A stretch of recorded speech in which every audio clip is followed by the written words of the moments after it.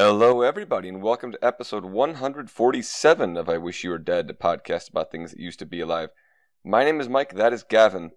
And Gavin, have you ever felt happy to know that one of your friends is alive? I sure have. Uh, because our best good friend, Fia, uh, you know, her she had a tree fall in her yard. I'm alive. Uh, Fia's alive.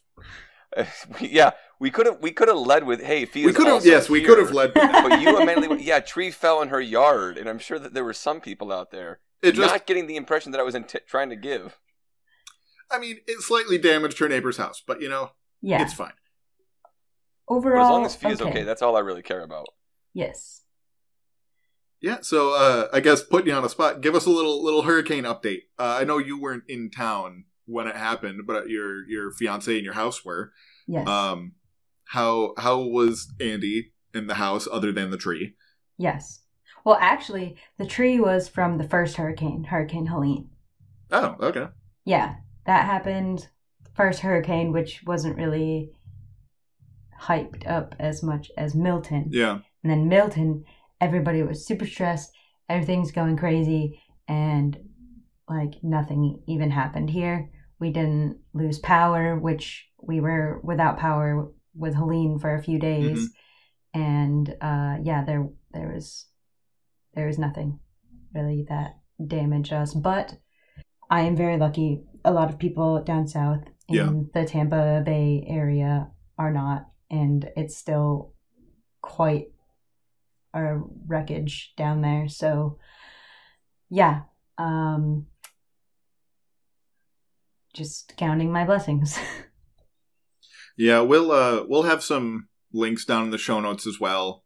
Uh if you know, just like last time, if you are so inclined uh to to check out some of the the links to donate uh you know time or if you live in the area like how to you know volunteer in like a coordinated way um with helping some of the cleanup and stuff. So there'll be some links down the show notes for that. Uh, as well as lots of other links because I I have some in, really interesting sources um for this episode because some of it is really hard to visualize and this is an audio medium um but we're getting our head of ourselves here But so but that'll be the first link in the down in the show notes awesome. uh, but yeah so it's it's great to hear that that Fia is alive and well and It's uh, just great to hear your voice, Fia. yeah It really is. Thanks, guys. uh, it's good to hear you with that, we'll- too. we'll hear you talk a little more we'll have uh some some housekeeping Okay, We- Fia comes back and we immediately Come the first back, thing we get make to do is work. talk about do your chores. talk about what happened, and then the second thing, yep, do the shit. Oh, Gavin, that's sexist. All right, go ahead. All right. Don't forget to rate the show on whatever platform you listen to us on and to follow us on Twitter, Facebook, and YouTube. Give us feedback about the show and any future topics you would like to hear on the pod. And if you would like to be a guest on the show, be sure to fill out the guest form, and all that can be found in the show notes. Gavin, what is our next episode topic? Yeah, so I I looked back through sort of our, our list of episodes and I'm like, what haven't we done in a while? Because we sort of have a roughly, you know, rotating list of uh of general themes. You know, we have our, our series of uh, you know, different time periods. Every now and then we talk about a different group of animals, uh, or extremely rarely plants. Um, sometimes we talk about a person. Um, but we hadn't done uh, an episode about animals in a little while, so we're going to be talking about beetles. I'm sticking sort of in the a little bit out of my comfort zone with the invertebrates. Um, beetles, real, real cool. Um, spoiler for two weeks from now: a quarter of all animals, a quarter of all species, are beetles. Uh, so I'll leave you with that. You can look forward uh, to more about that in two weeks' time. Yay. Awesome. So with the the house kept, uh, Mike as our uh, resident high school history teacher, what happened today in history? So, um, today, 1991, October 23rd, in history. Gavin, uh, your friend and mine. Um, in 1991, Clarence Thomas was sworn Oh, in as a, uh, a as a uh, justice of the United States Supreme Court. He is the longest serving justice currently on the court. Yep. He is 10th all time and uh, he is going to move up that list if he stays on, even for just another like year or so. He's going to start moving in some rarefied air. So, Oh um, boy. so like Clarence Thomas, like good on you, well done. Uh, you know, keep going, Clarence. Um, Who is Yeah. this guy? oh, you don't Oh, you don't know my my. boy Clarence? No. So Clarence Thomas, um, second black justice ever on the Supreme Court, appointed by George H. W. Bush Yeah. in 1991. When he got appointed, all of a sudden there was there were people, one woman in particular, uh, her name was Anita Hill, that was like, "Yeah, Clarence Thomas sexually harassed me all the time." Oh. Um, like Clarence Thomas, not a good dude. No. Um, he's also generally considered uh, the most uh, conservative member of the court Hmm. on basically every Supreme Court ruling that I've paid attention to in, in recent memory. He's been the one that's like, as far to the right as you can possibly take this line of thinking, he's going there. Um, so, for example, I believe he was the only one in the Supreme Court decision overturning Roe versus Wade. Uh, called the case was Dobbs versus I think um, Missouri Women's Jackson Health. Women's Health. Jackson. Women's Health, yeah. Um, he was the only one because the the like underlying principle for Roe versus Wade was the right to privacy, and that fundamental principle was also the underlying thing underneath the Supreme Court rulings for gay marriage, interracial marriage, um, and there was a third one in there as well. Um, oh, uh, sodomy, like you know, people engaging in uh, you know, bedroom adult acts with people of the same sex.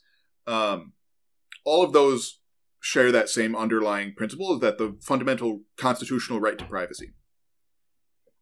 Uh. Justice Thomas was the only one in his writings to be like, hey, all these are next. Uh, notably, except the interracial marriage one. He conveniently left that out because he is in an interracial marriage. Um, so that's that's the one, even though it's the same constitutional principle, he conveniently left that one out of his sights. Um, so yeah, uh, for more on Clarence Thomas, listen to the last I don't know, probably ten minutes of of last episode. Uh, not a fan. Yeah.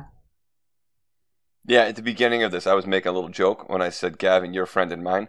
I wasn't being serious. I was making. No, yes. I see. Yes. Yes. Yeah, Yes. there was like a little hint, hint, wink, wink there. If you're in the know, you're in the know. Um, but now the He's joke's also- explained. Yeah, Clarence Thomas. That part wasn't a joke though. He's been there for a investigated while. for various types of corruption, taking uh, lavish trips from uh, billionaires and such, uh, who have. His wife tried to overthrow the government. Yep, that too. Um, okay. not a fan. Today in history. So thanks for that, Mike. Uh, You are welcome. and with that, with my blood pressure up, uh, uh, Fia, what do we got for Seagrass Corner? All right, so for Seagrass Corner today, I wanted to talk about the speckled trout, or spotted sea trout, or specks. Ooh. Scientific name Cynoscion nebulosus. Uh, Sounds good to me. yeah. this is a common estuary fish in the South US, and it can be found along the Gulf Coast and Atlantic coast from Maryland to Florida. Um, you know, as for Seagrass Corner, this speckled trout does like its shallow, grassy flats, so it is a, a good seagrass fish. Um, but it's really uh, it can be commercially fished, but it's I would say probably bigger for recreational fisheries. Um, this is definitely something that ever since I moved to the south is like this and redfish are like the fish you get you go to catch. Um, Okay. Yeah. So fun fact about speckled trout is they move offshore to deeper waters during colder months, but then they move back to the um, estuaries and coastal areas during the spring and summer. Is that uh is that like a breeding thing? Um, I didn't look that closely into it, but Okay. uh, if I had to make an assumption, it would either be breeding or uh, coldness. Okay. Probably just might get too cold for them in the shallow waters. Gotcha. But to be determined. Um, and then as for what they eat, the smaller trout really like to eat a lot of shrimps and crustaceans, but as they grow larger, their diets shift towards fish and specifically larger fish. And so diet shifts um, from the smaller, like juvenile, to adult fish is called an ontogenetic shift, I think is what it's called. Yep. And that's just for all types of fish. Yeah, that's uh fish do that really well. Vertebra or like uh, I guess tetrapods do that a little less well. Uh we t- like typically call, typically call that kind of thing niche partitioning, hmm where it's like the adults do something different than the juveniles because then the if they were competing with each other, the adults would just you know beat out the juveniles all the time because they're you know adults.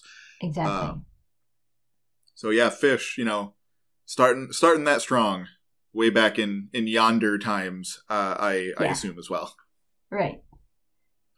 Um, yeah, whenever I think of trout, I think of there's a lot of really good trout fishing. I don't really fish much myself, um, but in uh, like the Adirondacks and in Central New York, there's a lot of really good trout fishing. Um, whenever I tell people I'm from Central New York, they ask me about it, and I'm surprised um, because I don't think of fish when I think of Central New York personally. Um, Yeah.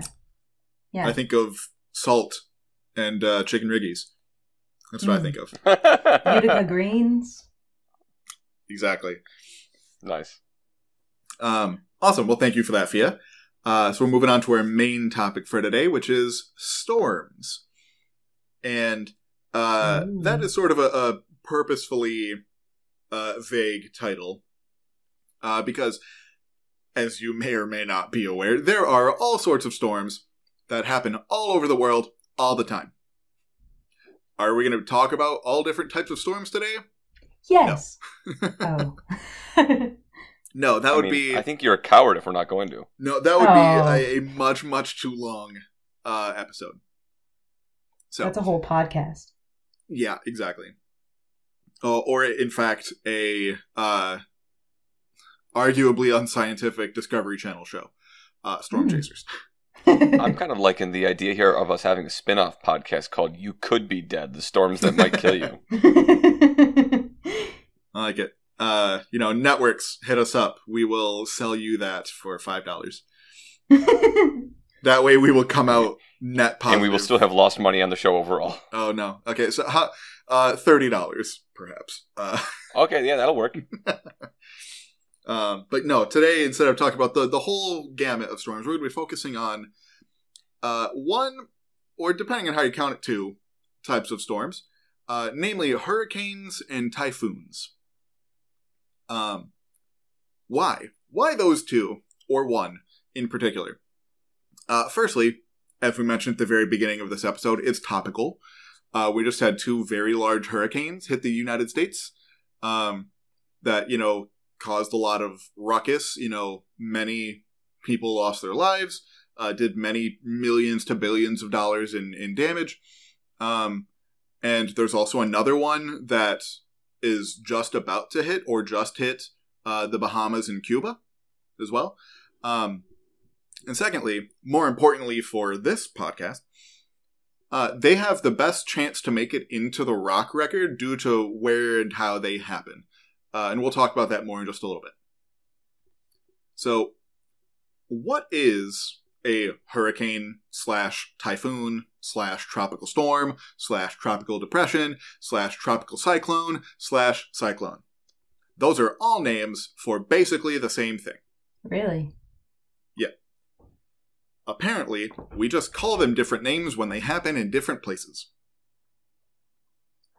Uh, when they form in the Atlantic and the Gulf of Mexico, or on the Pacific coast of the US and Canada, because they also happen over there, uh, we call them hurricanes. Basically, everywhere else that storms like this happen, including places like Japan, China, the Philippines, uh, in other parts of sort of the Indo Pacific, uh, they call them typhoons. But for all intents and purposes, they are functionally the same. They're a spinning storm formed from heat in the ocean and a low pressure system, which we'll get more into exactly how hurricanes and, and, typhoons and things form. But just know if you've ever heard of like typhoons or um, tropical cyclones, those are the same thing as what most people in the US would call a hurricane. So, one caveat of that I will say, yeah, um, is that I know we use tropical storm or tropical depression when it like it's based on a it, scale right. of wind speed. So, like hurricanes have higher wind speed than a tropical storm. Right, but a tropical storm is like the but umbrella. It, yes. Term. Yeah. Yeah. So it's like you know, uh, all hurricanes are tropical storms. Not all tropical storms are hurricanes. Exactly. Yeah. They do the same thing, just at different wind speeds. Right. And so, why are they called? Uh, they're broadly so. Like, if for example, uh, as we talked about on the sort of spotlight episode we did uh, with the Common Descent podcast, when I do the research for these episodes, uh, I typically start with Wikipedia as a springboard, and for the most part, uh, there is a Wikipedia page for hurricanes, but the broader, more encompassing one is tropical cyclones. That is sort of the biggest, broadest umbrella term for all of these types of storm systems. Um, and so, why are they called tropical cyclones? Um, we'll get into sort of how they form in, in just a little bit, but basically, they form in warm waters, hence tropical, and they have sort of a low pressure zone in the center that causes the air around them to spin in a circle, and that uh, around that sort of low pressure zone, hence cyclone, they spin in a circle. And these storms are uh, really common around the world. Um, we only hear about maybe three or four per year here in the U.S. Um, because many of them don't make landfall in the continental U.S., but they still happen. Um, we really only hear about the big ones like Helene or Milton. And maybe that's slightly different for somebody who lives in Florida, for example. Um, but for someone who lives in Pennsylvania, uh, if I hear anything else about a hurricane or tropical storm for the rest of this year, I will be surprised. And uh, like like I mentioned, th- so those are just sort of two storms but just by the names, we can tell that others have happened in between them, even though those two were only like a week, week and a half apart. Um, we name tropical storms uh, in alphabetical order. For the ones in the Atlantic, it only goes A to W for whatever reason. It doesn't go to Z. huh. Um, and so hurricanes Helene and Milton were only about a week apart, but yet they're five letters apart in the alphabet. So tropical storms Isaac, Joyce, Kirk, and Leslie happened in between them. Wow. But but you probably didn't hear about those because they just formed, got uh, you know high enough wind speeds to be called a tropical storm, and then either didn't make landfall or you know mo- probably more likely didn't make landfall in the U.S. yeah. Um, there's also different lists. So, like each year, they put out the full list of names. They don't sort of name them as they go. So they have uh, the full list for I think up until 2029. Whoa. Uh, for the Atlantic, but That's they have different lists. Yeah. Um, they have different lists for different regions. So, like I said, those are just you know Helene, Milton, Isaac. Those are just the ones the Atlantic Basin. In the northeastern Pacific, that has its own list of names. And there's another one uh, for the Central Pacific, uh, which I was you know, delighted to learn, uh, is made up mostly of uh, indigenous Pacific Islander names, which is cool. I like that. Yeah. Um, but overall, all around the world, there's 80 to 90 tropical storms that happen each year that get strong enough to get named. Uh, so these are not, you know, rare events in and of themselves. So, how do storms like this form? And it's a little bit more complicated than this, but for the most part, you need two things you need warm water and low pressure. I'm going to do my best here to make this as simple as possible. You got this, Gavin. but anything with the atmosphere is so wildly complicated. So, it, please, if you have questions or something I say doesn't make sense, please ask me. Or, or Got it. And then Gavin will go talk to somebody else that knows something. or we will make a cut and I will do a Google. Um, because I, I think I wrote it in a way that makes sense to me, um, but that does not always work for other people. Right. Um, yeah, so basically, as I hope most people know, when water gets warm, it evaporates. With me so far. Yes. Warmer bodies of water evaporate more. As that Yes. water evaporates, it rises up into the atmosphere just like warm air does. As it rises, it sort of cools because the upper atmosphere is cold. And then it condenses. What was that? Is that condensation? Yes, once it gets cold, it then condenses and forms Okay. clouds. Okay. Uh, and that so far is is pretty basic weather stuff. Water gets warm, evaporates, rises, condenses into clouds. And then this next part is where it gets a bit more complicated.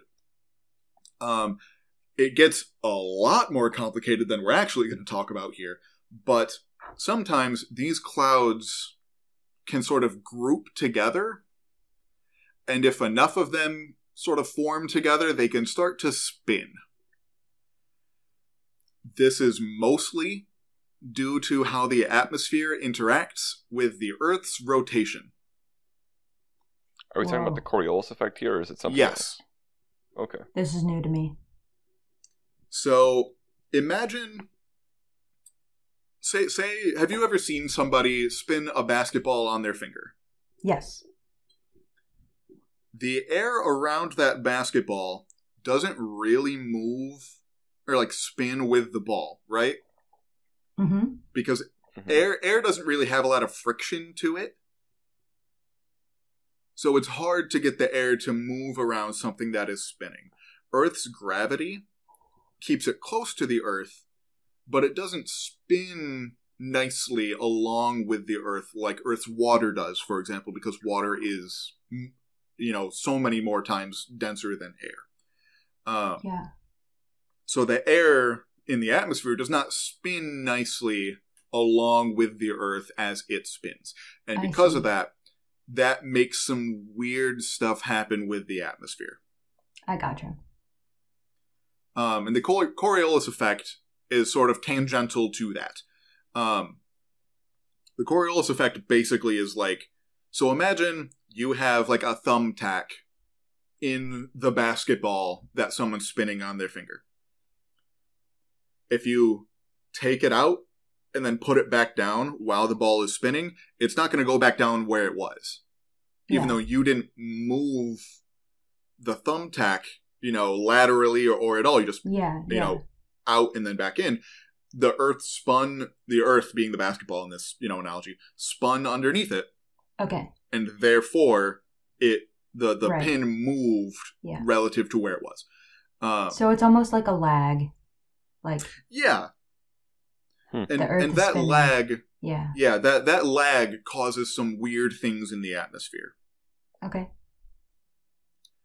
Um, and it's it's sort of this quirk, uh, among many other things, but this is one of the main drivers of it. But th this quirk of how the spinning Earth interacts with the atmosphere is what causes a lot of high pressure and low pressure areas in the atmosphere. hmm Um, so those are that's one of the things is just sort of those weird quirks that cause high pressure and low pressure. Sometimes those can be in relatively predictable areas. Um, for example, if there's just a really hot zone that causes a lot of air to rise, that means like at the surface there is low pressure because the air that was there is is moving away from it. If that makes sense. Yeah. So that's one of the ingredients, low pressure. Uh, these also only happen over water. Hurricanes cannot form over, you know, continental land masses. There's not enough water, uh, and not enough heat generally there for them. Um, Is it possible for um for like that water to be taken up from an ocean or something? Um and then as it's coming up move over to land and have a hurricane form over land um that way just cuz it where it formed happened to be right near a um a landmass or is that just not something that's ever going to happen? yeah, over that's that's just not something that I Yeah. that that I've read that ever really happens. And we'll talk think so about sort of the physics of it in a little bit. Mhm. Um not in detail, just like concepts. Um but basically to continue to keep the storm going and spinning requires a lot of energy. And the amount of energy that it can pick up over water is much higher than it can pick up over land. right. So that's why basically any tropical storm that makes landfall almost instantly slows way down, dumps a bunch of its water, and then Right. um, you know doesn't make it all that far inland. Um, at least as a you know tropical storm with the wind speeds that make it a tropical storm. Hurricane Helene was kind of weird with how far it carried a lot of its water inland. That's that's very unusual. That doesn't happen a lot. Yeah. Mhm. Um, but yeah, so we'll talk about that, just sort of energy input output in a little bit. Um, so yeah, those are the two main things: heat over water and low pressure. There's a couple other sort of minor ingredients. Um, you need things like a low wind shear, which is like so so wind at the surface moving at you know the same speed as like wind high up in the atmosphere. Um, that way, sort of the cyclone doesn't sort of spread itself too thin. Um, you need high humidity in in the sort of lower atmosphere to help keep all the water there. Um, and then I didn't see this described in detail, but it just said disturbances in the atmosphere. Take from that what you will. Um, so those are those kind of the ingredients. Um, weather's very complicated. and there's there is a lot of physics that I don't understand. Um, I took two semesters of physics in college, and I semi frequently skipped class in one of them. Um, phys- physics is not my jam, so take my word for it or look it up yourself. There was a lot of math on the stuff that I read, but I did not understand it. Yeah. Um, anyway, as these storms travel, for example, like if we think of Milton, just because that's you know in a lot of people's consciousness, you know, because it's recent and was and was big. It started sort of just off the Yucatan Peninsula on the western side of the Gulf of Mexico, and so as it sort of moved east across the Gulf, um, it continued to pick up energy from whatever is underneath them.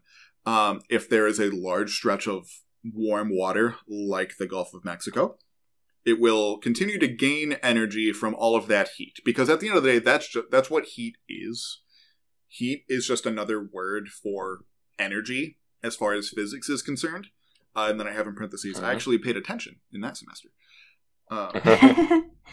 so yeah from a physics point of view that's all heat is is just um, oh, measuring how quickly different molecules in a given area uh, are moving around in their space um, so warm water has a lot of energy, and that energy can just get sort of sucked up into this storm cycle. Um, and that's why, like I, like we talked about a little bit ago, hurricanes almost always get significantly weaker shortly after making landfall. Um, yeah. keeping everything moving just requires a lot of energy in the system. And when it hits land, it's just, it is still getting some heat energy from the land, but it's way less than the water, and it's way less than it takes to continue that system going. Um, so it's just like, you know, it is then net negative in its like in energy intake, basically. Mm-hmm. And so that's that's sort of what these storms are and how they form. Any any questions so far? No, I think that makes sense. I don't think so. Yeah, we're rolling so far. Cool. So we are give or take 30 minutes into this episode. How does any of this relate to paleontology in any way at all? I was gonna ignore that question. Actually, I was just gonna let you cook and then, like, maybe talk with you about it afterwards. But okay, so we're No, coming there- back to our roots. There are some ways, yes. Um, so storms, as you might imagine, are not a new thing on planet Earth. Earth has been spinning for a bit over 4 billion years, and we've had a significant amount of liquid water for most of that time. Um, and presumably, we have had these kinds of tropical storms for pretty much all of that time. Um, they probably worked a bit differently through time as the amounts of different gases in the atmosphere sort of changed. Like early on, there was almost no oxygen in the atmosphere, but there was lots of CO2, uh, which pro- which you know made Earth really warm, which probably made those hurricanes really really big. Um, but those different like density changes, I I didn't really see even anything. I'm sure that there are models out there, uh, particularly given uh, increasing CO2 in the foreseeable future. Um, I'm sure that those models exist. I couldn't really find them for, you know, way back in, in Earth's ancient past. I couldn't really find models for that. Gavin, can you please say that again? Increasing CO2. In the foreseeable future. Okay, cool. That I really like that phrase as a get around to telling people about climate change. Yeah. So, and this is also really important why like climate modeling like this is is important because from everything that I've seen, increased CO2 in the atmosphere doesn't make hurricanes happen more frequently, but it does make them much stronger yeah. Because there's just more heat. There's Yes. more energy for them to suck up. Correct. Um, and so that's that's really what we're sort of looking at for the future with with hurricanes and these other types of typhoons and, and tropical storms. Uh, but yeah, so we we it, I think it's like fairly common sense if you were to like stop and think about it for a minute that these storms almost certainly happened throughout pretty much all of Earth's history. So how do we find out anything about these storms in the past? um, especially given that today they only last, you know, a day, maybe two. Uh, you know, at least once once they make landfall. Um, hmm So how could something sh- so short-lived make it into the quote fossil record? You know, it's not life, so it doesn't leave a fossil record, but into the, sort of the geologic record. Um, and almost certainly most don't. um, all but all of the various kinds of weather events uh, of any kind of storm that you can think of these tropical cyclones hurricanes typhoons whichever you'd like to call them are probably one of the more likely to show up in the rock record for a couple of reasons um, firstly they happen in the ocean which is nice because that's where most rock deposition happens. Uh, especially in shallow oceans which tend to be warmer than the really really deep oceans. Um, you know, I'm sure tornadoes, for example, happened in the ancient past, but finding one in the rock record would be extremely unlikely because they happen on land, typically in pretty flat areas uh, that don't have a lot of deposition happening. Uh, and in order for us to find something millions of years later, it needs to be deposited. So, if you were to ask any, you know, geologist, did the dinosaurs see tornadoes? Yeah, almost certainly. Um, but we have no way really to to find. That's the main reason why we're talking about this t- today at all, is because this is like one of the few kinds of storms that we actually can see in the rocks. hmm Um, That's kind of cool to be on. Like you know, taking away like the cost of hurricane stuff, like the fact that you can see, Yeah. you know, just a weather event in, uh, you know, in the rock, like that's kind of awesome. Yeah, it's it is really cool, and especially like going out to outcrops, and that that's a very common sort of intro, or, or I guess depending on you know your, how intensive your your program is, maybe an upper level class, depending. Um, but just go, having your teacher take you and the in the class out to an outcrop, and just say, "All right, figure out what happened. what what is the lesson? You tell me." Um, and we'll we'll talk about how you recognize it in the rocks, but like putting it together, um, that's a very classic sort of geology lab. um, but yeah, so that's that's the main reason we're talking about these storms today is because it's one of the few that is like even a little likely to be preserved in the rock record. Um, but secondly, also we know very clearly what to look for in the rocks because we know how they churn up modern sediments.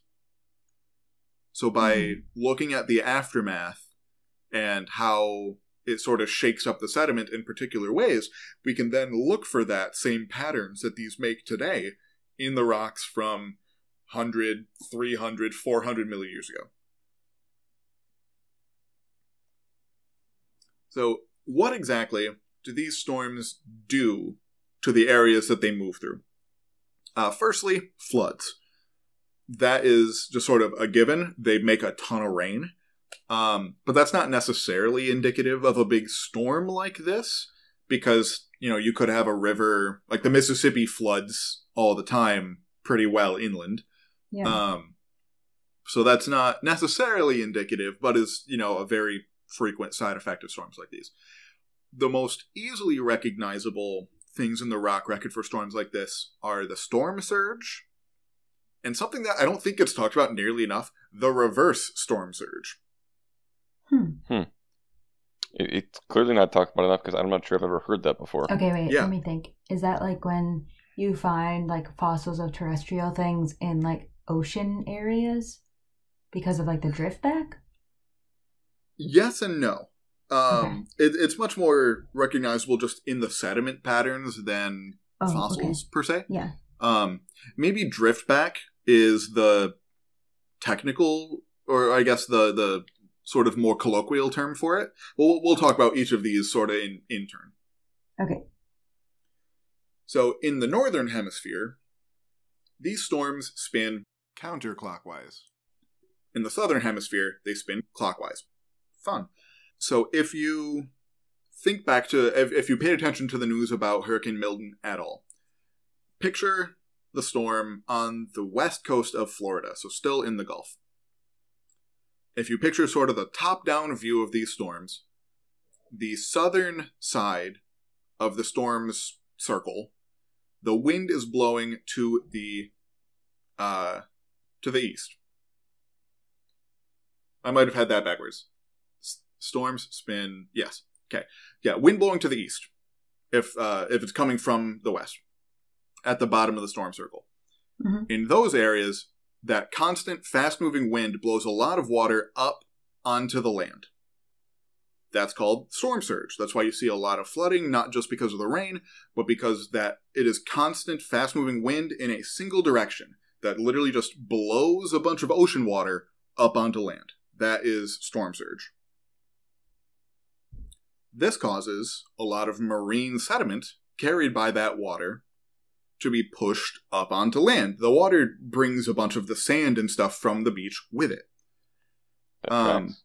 And so after the storm passes and the water retreats, the terrestrial sediment sort of gets deposited back on top of it like normal. And so you see this pattern in the rocks where we see Oh. the terrestrial sediments that are normally there covered by a big wave of marine sediments and then covered again back by the normal terrestrial sediments. That's cool. Yeah. And then there's the reverse storm surge, which is kind of exactly what it sounds like. If you picture the storm again, so the south side, the, the wind is blowing to the east, toward Florida. On the north hmm. side of the storm, the wind is blowing to the west, out into the Gulf. And just like that strong, persistent wind in one direction blows a bunch of water up onto land in the storm surge, for reverse storm surge, it blows a bunch of water away from shore so that oh. there will be miles of seafloor that is completely exposed. There is no water on top of them. Damn. I've never thought of that. That seems that seems like really bad and also kind of cool. It is ex- extremely dangerous because some people are dumb and think, hey, this is cool. I'm going to go walk on that. I'd be one of those people. I'd be like, I'll never get this opportunity again. Which, like, is kind of true. But when the storm starts to dissipate, that water comes back extremely quickly.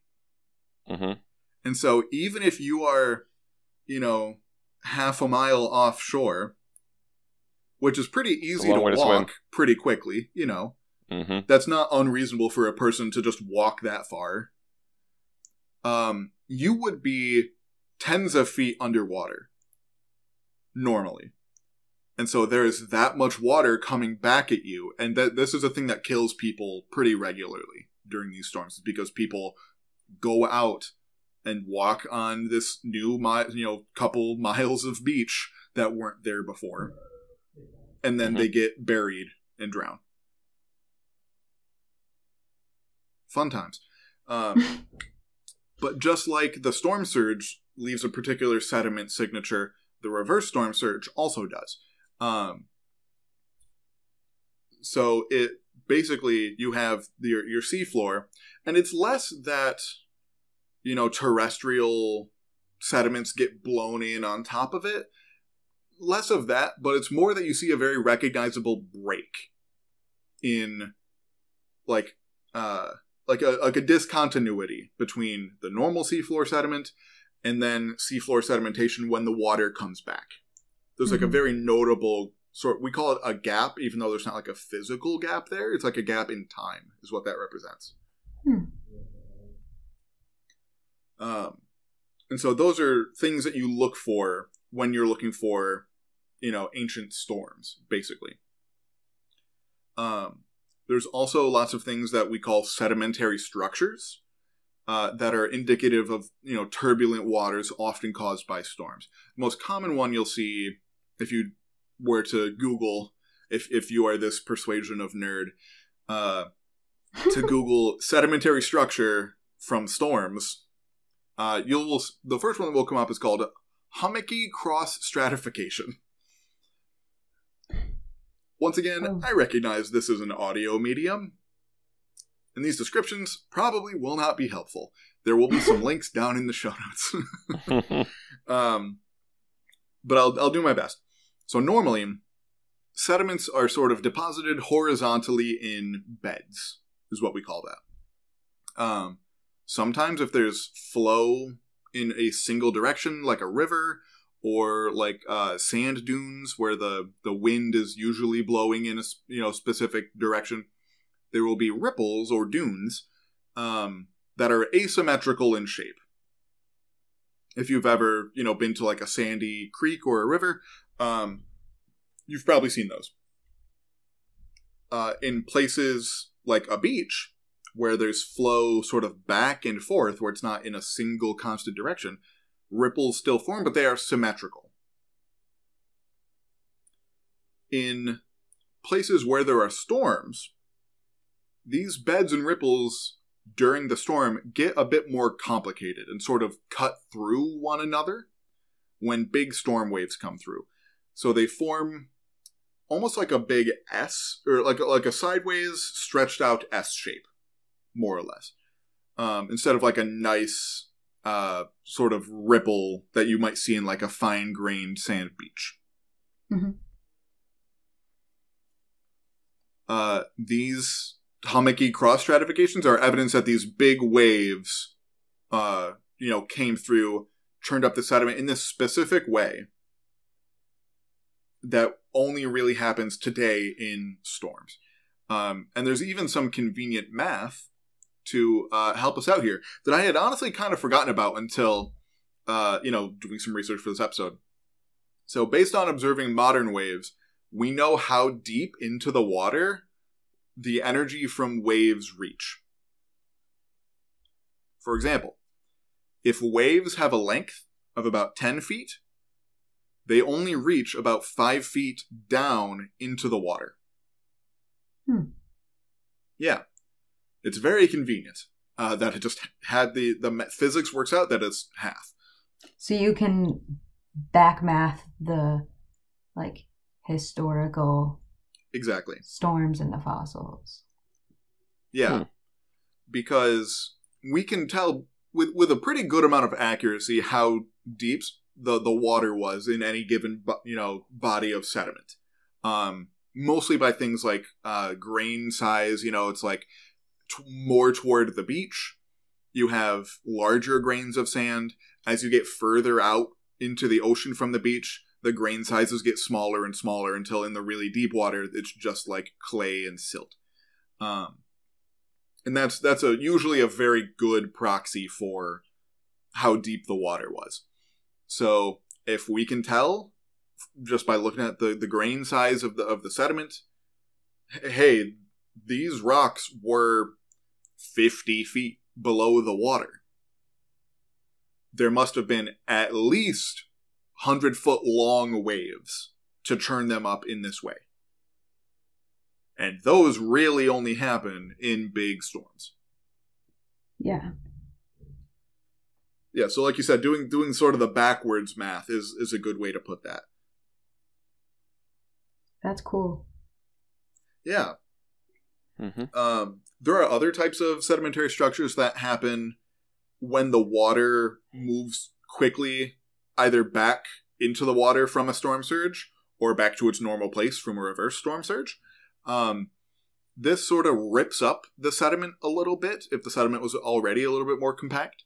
Um, or sometimes, you know, a, a bigger rock or something that it wouldn't normally be around that kind of sediment will sort of make a groove through uh, sort of the, the finer grain sediment. And you can see that. We call those groove casts. Um, and again, to move something that big takes a lot more energy than is usually found in 50 foot deep water. So we can tell that from this kind of thing, there must have been uh, some kind of storm or something like that to input enough energy to move the sediment in this way. So, do you know what like the biggest back mathed her like storm has been in the geological record? That is an excellent question. I do not. Oh, dang. That'd be cool. Um, I I would imagine it wouldn't be all that dissimilar to today. There are other things that like there there are some records of like tsunamis yeah. which are are different. Yeah. So one that's like we're pretty confident is from a storm. I don't know. Um, there's some like speculative evidence about like the tsunami that formed from when the uh, Chicxulub impact happened, the one at the end of the Cretaceous that killed the dinosaurs, because that landed in the ocean. Mhm. Um, so that probably made one hell of a tsunami. Uh, Yeah. um, there's speculative evidence of the tsunami that you know happened from that. Um, that whole site has kind of been mired in controversy because the person working on it lied about some other stuff. Um, so yeah. Anyway, long story short, no, I don't have a, a number for you. okay. No worries. Um, but yeah, so even with all of that, with how common these storms are generally around the world, you know, almost a hundred of them happen around the world every year. So, like, you know, through deep time, millions to billions of these storms have happened. Um, even with us knowing more or less exactly what to look for in the rocks to find them, Uh, it probably won't surprise you to learn that these are still very rare to actually find Mhm. uh, in the rock record. For starters, most of the time that these storms are around, they're over open ocean, where even if they're turning up really big waves, uh, they will not leave any trace at all on the seafloor below them just because it's too deep. Even like a relatively shallow part of the ocean, like the Gulf of Mexico, you know, if you're like way out in like the center of the Gulf, it really doesn't matter how big of a wave a storm is making, it's not reaching all the way to the bottom.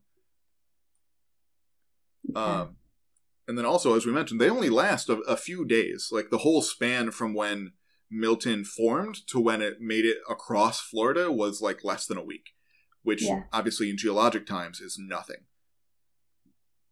Um, that being said, we do have them in quite a lot of places, um, but they're hard to sort of research from like a layperson perspective, trying to do r- the writing for this episode because we, it's not like we give these ancient storms names. so there, there are some hummocky cross stratifications known here in central Pennsylvania, um, but it's hard to Google exactly you know anything about them other than just like we have them. You know, um, so clearly there was a storm here at some point when these rocks were deposited, which was, uh, you know, sometime in the Devonian period, sometime you know almost 400 million years ago. Uh, they are very well known though throughout sort of the central central areas of the United States, places like Kansas, Utah, New Mexico, South Dakota, Montana, um, and those are all from the Cretaceous period. Because then uh, there was a giant seaway that stretched all the way from the Gulf of Mexico up through northern Canada that cut North America basically in two, where there was, you know, an environment very similar to the Gulf of Mexico, but stretched all the way, you know, north to south through North America.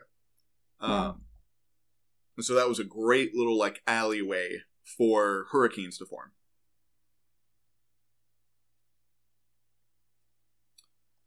So that's sort of what hurricanes are, how we find them in the rocks, and I want to end off with talking about storms and evolution.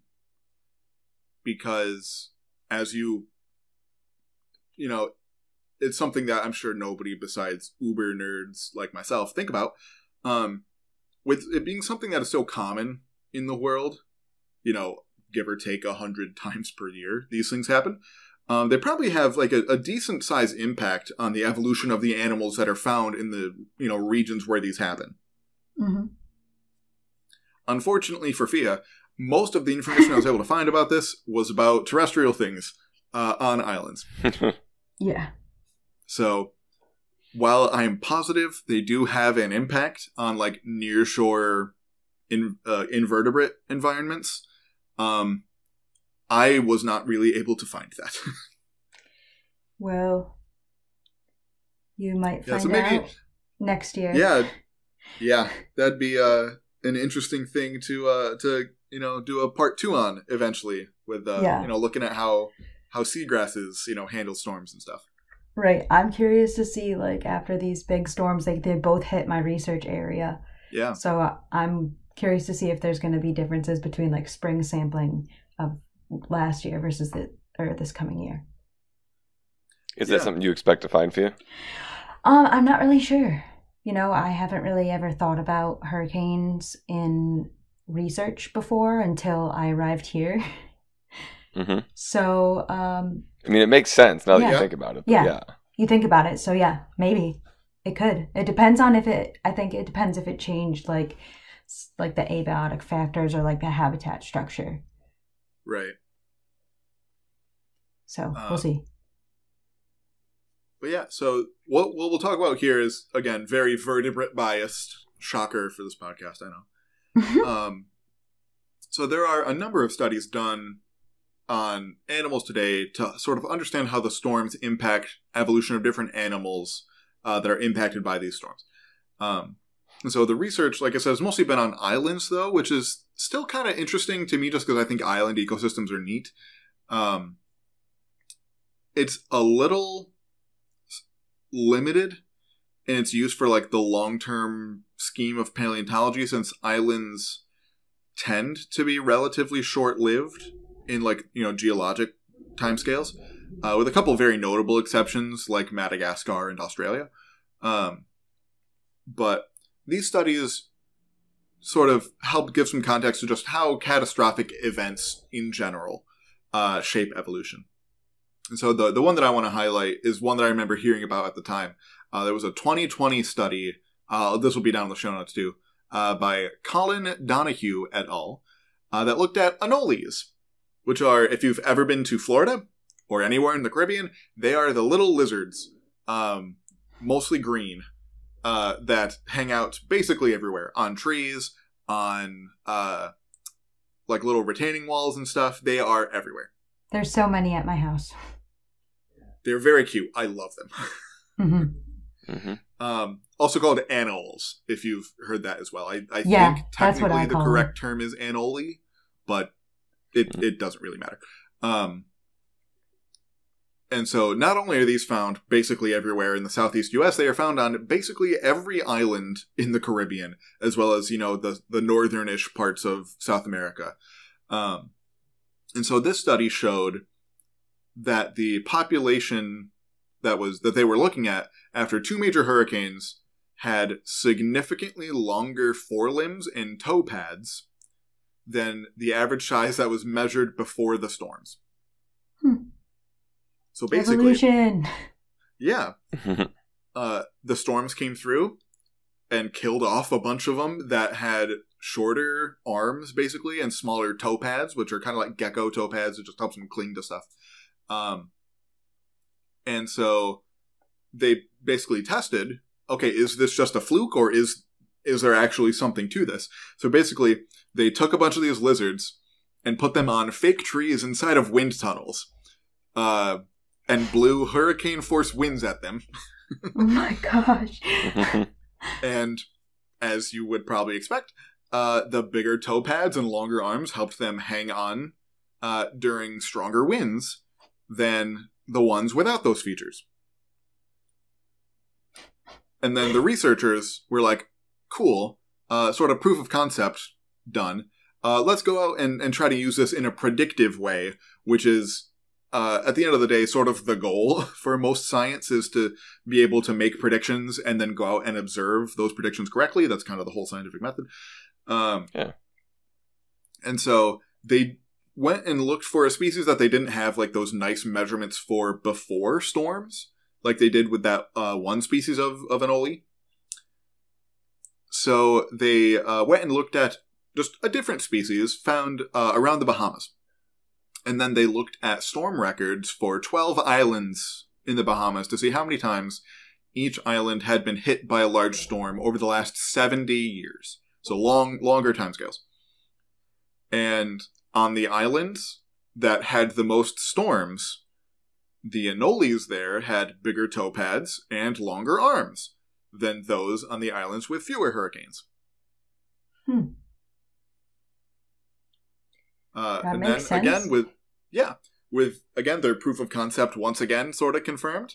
They then expanded their study to over 180 species of anoles across the entire Caribbean region from the US down to Brazil.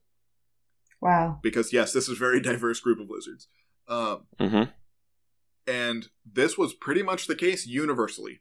Not just Wow. sort of from one population to another within the same species, but from species to species. Species that lived in an area that got hit by storms more frequently had proportionally longer arms and bigger toe pads. I love when science works. Yeah, this is, you know, this is exactly how you would like science to work. Uh, Right. You make an observation. From that, you make a hypothesis uh, that potentially explains that. Then you go out and test it by making more observations. Um, and in this case, the hypothesis turned out to be correct. So um, there, they there hasn't been a, a follow up paper yet, but in in the paper, the authors uh, said that they want to start looking into animals besides lizards to see how they're affected by these storms. Um, I think it also is is just convenient that the, this particular group of lizards all have this same the, the grippy toe pad adaptation that helps them cling to stuff and it was a you know if you can hang on in the wind better you're probably more likely to not die in the storm. Um so you know each group of animals that they look at is going to have their own unique things like that. Um and to just see how it's uh, affecting these animals going forward. So you know you can use this to sort of make interpretations and sort of this is just an example of how these catastrophic events select for you know certain traits. And so things in the fossil record were like wow why why does why is does this anole have such long arms? Mm-hmm. um you know this could be a potential reason. That's just you know an example. But um i'm sure that there are other you know you know semi you know frequent catastrophic environments. You know think of like volcanic eruptions on like volcanic islands or something like that or um you know other natural disaster prone areas to how different animals might adapt to those so uh, mm-hmm. this was just a really cool study that i thought was uh, neat and just a cool way to highlight you know how science works in general yeah um, and you said yeah, you were so going to put the link to this paper in the show notes uh yes okay cool yeah, I definitely want to. Um, I will. I will do my best to find the open source version of it. My yeah. I was doing this like on my lunch break uh, at work, and like my work computer just kind of logs me into a lot of stuff to get papers because I work at a university. Yeah. Um, mm-hmm. but I think I don't think it was open source, but I don't think it was like hidden, if that makes sense. Yeah. Mm-hmm. Um, but yeah, so I will, I will, I have lots of stuff to put in the show notes. So the first one in the show notes will be, you know, links to sort of uh, help out with the hurricane relief stuff. Um, but then the rest will be some some stuff about, you know, uh, some visuals to help with, uh, you know, visualizing some of these, you know, sedimentary structures and things that uh, that I talked about, uh, and then the the link to this paper as well. Awesome. So that's that's all I got. That's uh that's hurricanes and uh and or tropical cyclones and or typhoons. and fingers crossed that you're right that we won't be hearing about uh, too many more of these guys, things Man, for the rest I of hope, this year at least. I yeah. hope so. Um, yeah, we gotta we want to keep Fia right where she is. Yes. Yeah, I am tired of being stressed. well, you're doing a PhD. I don't know how well that's going to work for you. Okay, more stressed than I already am every day. uh, and we'll return uh, in two weeks to see just how stressed Fia is on episode 148. But in the meantime, this has been episode 147 of I Wish You Were Dead, a podcast about things that used to be alive. My name is Mike. That was Gavin. Fia was able to make it today, and we were all happy to hear her. Take care, everybody. Bye. Hello, everybody. This is just a uh, quick little reward for making it all the way through the episode.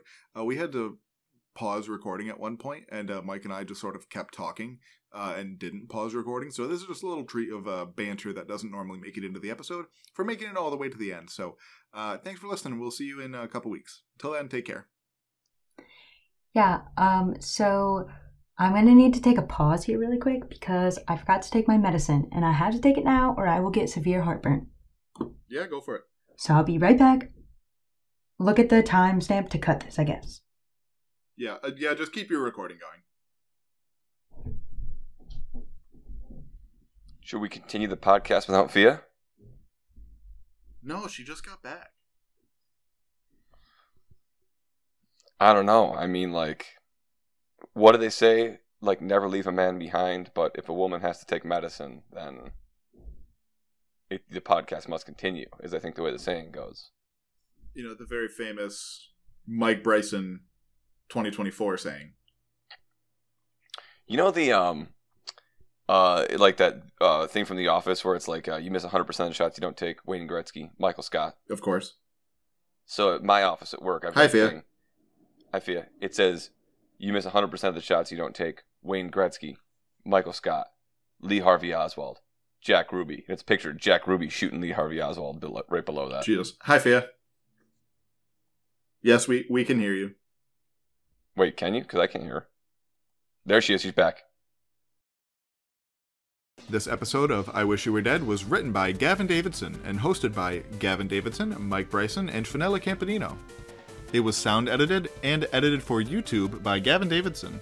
Special thanks to former guests of the pod and to listeners like you.